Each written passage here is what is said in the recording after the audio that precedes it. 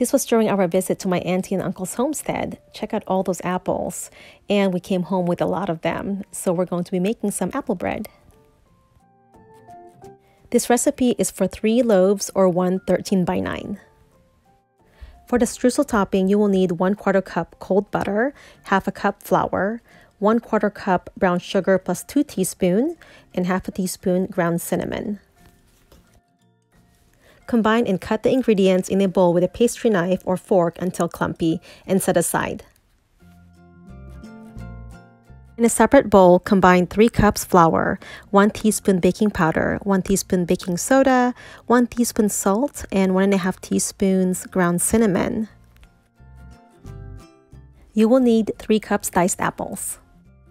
In another bowl, whisk 3 eggs, then add 1 cup vegetable oil, 1 cup sugar, and whisk together. Fold in the 3 cups of chopped apples with your wet ingredients. Add your flour mixture and mix until well combined.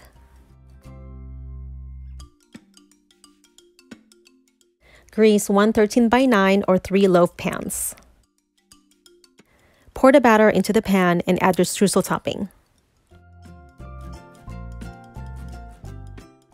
Bake in a preheated oven at 350 degrees Fahrenheit for 35 to 45 minutes until the top of the bread is golden brown or when the toothpick comes out clean.